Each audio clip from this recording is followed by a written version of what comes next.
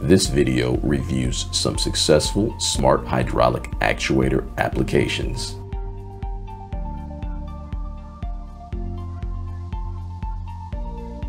The Kyntronics Smart Hydraulic Actuator, known as the SHA, is a complete actuation system, including the motor, servo drive, actuator, and software.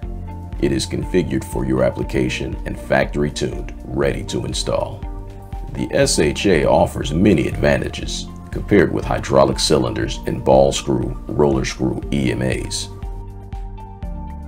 In this application, the customer needed to retool a hydroform line to accommodate an OEM model design change. The old line was a complex mess of hydraulic components that leaked wasted energy and required constant maintenance. The new hydroform machine incorporates 16 SHAs in right angle and inline configurations. The SHAs were provided with Rockwell automation motors and drives. The SHAs eliminated all hydraulics on the machine, resulting in a 50% reduction in floor space. Independent operation of the SHAs allow the machine stations to operate concurrently, resulting in a 25% gain in parts per shift. Position and force control were used, improving part quality. Eliminating hydraulics resulted in a cleaner, quieter machine with less maintenance and substantial energy savings. The next application is a form, fill, and seal packaging machine designed and manufactured by R&D Automation. In response to customer requests, R&D Automation wanted to provide faster changeovers, better control, and eliminate hydraulics on their new 3.0 machine.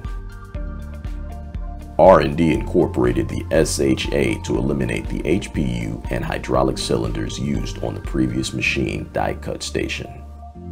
Roller screw EMA alternatives were considered. However, R&D had concerns about premature wear from concentrated loading. EMAs were also too large for the available space at the forces desired. The SHA eliminated the HPU and hydraulic components resulting in a machine package that was 20% smaller with cleaner and quieter operation and significant energy savings. The precise control of position and force in the SHA allowed closer synchronization of the die cut station with the conveyor speed and improvement in quality of die cut registration. Despite the high cycle frequency and concentrated load in the die cut station, the SHA provides reliable operation, unlike EMAs, which are susceptible to premature wear.